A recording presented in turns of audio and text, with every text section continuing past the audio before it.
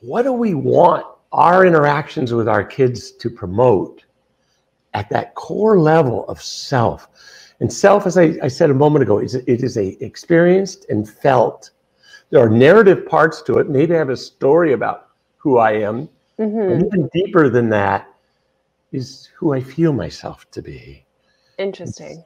Um, so the task at hand is to define what it is that we want to deposit in those little selves that, that, that we're given there to, to, to, to take care of.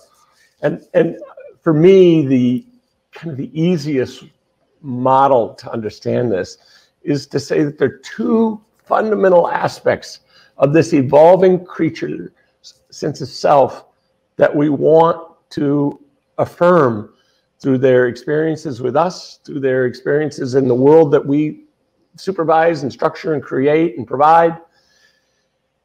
And it's really two things. One is do I experience and feel myself to be lovable? That's first and foremost. And secondly, do I experience and feel myself to be competent? Or Mm. being on an, uh, uh, you know, in the process of an evolving sense of competency for little ones.